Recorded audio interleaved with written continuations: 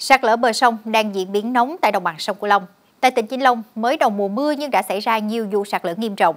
Khó khăn lớn nhất vẫn là nguồn lực ứng phó, và điều này khiến cho hàng trăm hộ dân đang đối mặt với nguy cơ mất nơi ở cũng như đất sản xuất. Những căn nhà treo lơ lửng, bên dưới hàm ếch khoét bọng rộng. Nhiều gia đình phải bỏ nhà hoang đi ở trọ. Phần lớn số hộ còn lại chấp nhận rủi ro ở trong những căn nhà có thể bị nhấn chìm bất cứ lúc nào.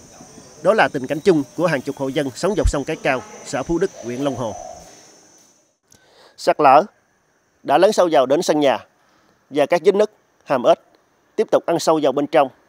Nếu chính quyền địa phương chậm có giải pháp khắc phục thì có thể chỉ trong mùa mưa này thôi, hàng chục hộ dân sẽ không còn nơi để sinh sống. Mưa tới thì sạt rồi đó, có bờ tôi giờ vô tới nhà muốn sụp tường rồi nè. Rồi nhà dài dài mấy cái nhà đắng cũng vậy luôn. Chỉ mới đầu mùa mưa, nhưng tại đồng bằng sông Cửu Long đã xảy ra hàng chục vụ sạt lở bờ sông. Tại tỉnh Vĩnh Long, khoảng một tháng này đã xảy ra 4 vụ sạt lở nghiêm trọng. Hàng trăm hộ dân bị ảnh hưởng trực tiếp. Cuộc sống của bà con vô cùng vất vả khi nhiều gia đình không còn nơi để di dời. Giao thông chia cắt khiến việc đi lại, vận chuyển hàng hóa gặp nhiều khó khăn.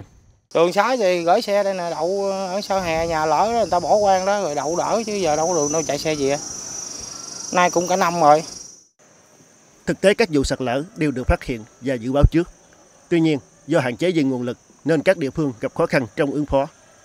Chẳng hạn khu vực bờ sông Cái Cao, huyện Long Hồ, tỉnh Vĩnh Long, chỉ từ những vụ sụt lún nhỏ, nhưng do không chủ động được kinh phí khắc phục, chỉ hơn một năm qua, sạt lở đã lan rộng, đe dọa trực tiếp cuộc sống của hơn 200 hộ dân. Sạt lở nhỏ thì những ngân sách địa phương sẽ đảm đương về ví dụ gia cố những cái ờ, khu vực nhỏ đó còn ví dụ những cái khu vực mà nó sạt lở nghiêm trọng thì phải đề nghị cái ngân sách cấp trên. Sạt lở đang là nỗi ám ảnh của hàng ngàn hộ dân sống ven sông tại đồng bằng sông Cửu Long. Thế nhưng họ cũng chấp nhận phó mặt cho may rủi, bởi nhiều gia đình không còn đất để di dời, trong khi nguồn lực ứng phó của các địa phương thì còn nhiều khó khăn.